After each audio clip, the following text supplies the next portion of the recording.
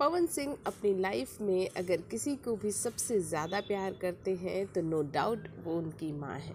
अपने कई इंटरव्यू में वो कह चुके हैं कि सुबह उठकर फिर वो चाहे जहाँ भी रहे। पहला कॉल वो अपनी माँ को करते हैं और तो और पवन सिंह की माँ भी उनके किस्से बताने में पीछे नहीं हटती। पवन सिंह की माँ उन्हें लेकर ये ज़रूर कहती हैं कि आज भी पवन सिंह को थप्पड़ लगाने में वो पीछे नहीं हटती। पवन सिंह जब कहीं भी, कभी भी किचन में होते हैं और घर में नॉन वेज खाना बनता है तो माँ के लिए वो वेज खाना अपने हाथों से बनाते हैं।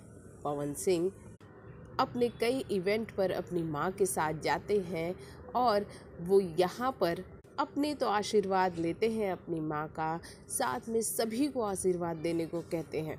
वैसे ये हमेशा से सोशल मीडिया पर कहा गया है कि पवन सिंह की माँ के कारण ही पवन सिंह और ज्योति के रिश्ते अच्छे नहीं हैं। लेकिन इससे पवन सिंह को कोई फ़र्क नहीं पड़ता।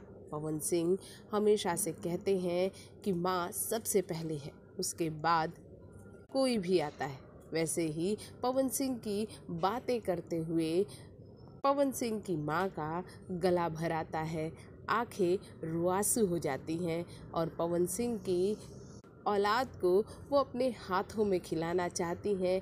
यही अपनी आखिरी इच्छा भी पवन सिंह की माँ बताती हैं। तो क्या कहेंगे माँ और बेटे की इस बॉन्डिंग के बारे में कमेंट बॉक्स में कमेंट कीजिए। साथ ही चैनल को सब्सक्राइब करना बिल्कुल ना भूलिए।